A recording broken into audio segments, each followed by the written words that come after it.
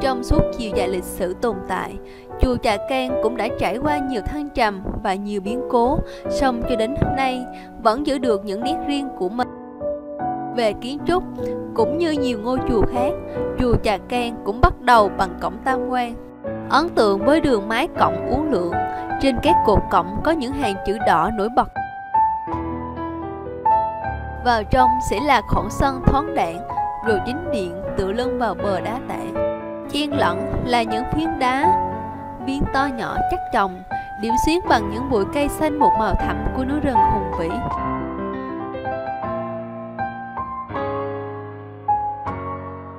là điểm hành hương hàng năm của rất nhiều Phật tử, chùa Trà Can đã nhận lấy biết bao tâm tư của con người. Cứ lặng lẽ đó lắng nghe và tạo cảm giác yên lành đầy ơn phước cho bất cứ ai đặt chân đến.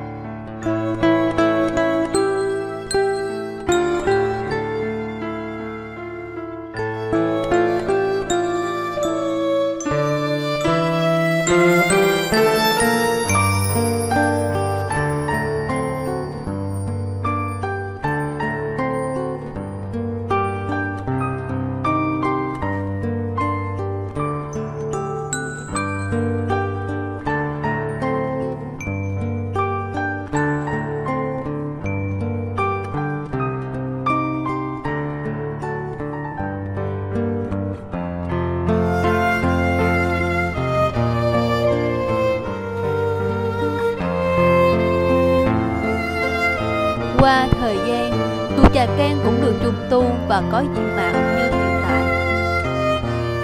Ngoài chính điện khi xưa, cổng tam quan được xây dựng sau này. Chùa còn có các công trình phụ khác như dãy nhà ni, vườn lâm nhị ni, vườn lộc uyển, nhà tăng đường, nhà quảng sách.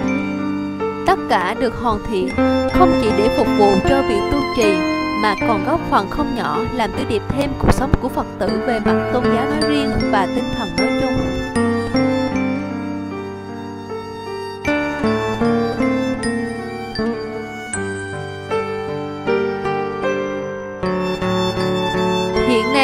Đã có khá nhiều công ty du lịch tổ chức các tour du lịch hành hương về thăm chùa Trà Can và núi Trà Bạch.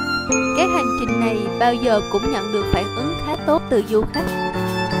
Vì qua những hành trình này, du khách không chỉ có cơ hội ngọn cảnh núi Trà Ban hùng vĩ, mà còn có dịp lắng mình nơi ngôi chùa Trà Can đã gần 200 tuổi rất đổi linh thiêng.